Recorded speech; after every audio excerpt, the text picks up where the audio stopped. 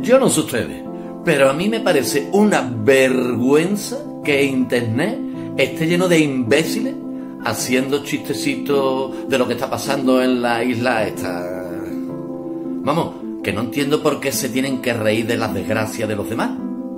Bastante pena tiene ya la pobre Estefanía que quiere serle fiel a su novio Christopher y no puede. ¿Hay algo más triste que eso? Y el pobre Christopher, que está más enamorado que Mario Vaquerizo, no hace nada más llevarse disgusto, se lleva más disgusto que la reina emérita.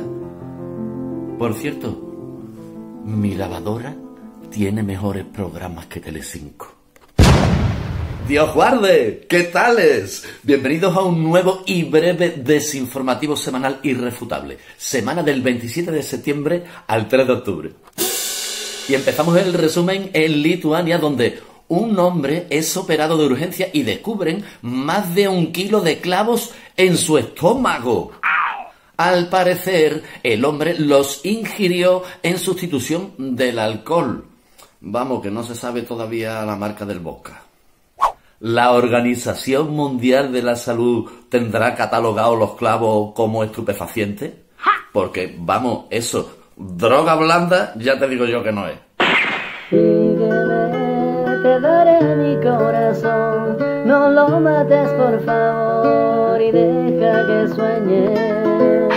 Y de Lituania nos vamos al Reino Unido de su graciosa majestad, eh, que ahora después de haberse salido de la Unión Europea empieza a escasear la comida en los supermercados, eh, también la gasolina en las estaciones de servicio, el otro día dos peleándose en una gasolinera por pasar primero, ¿no?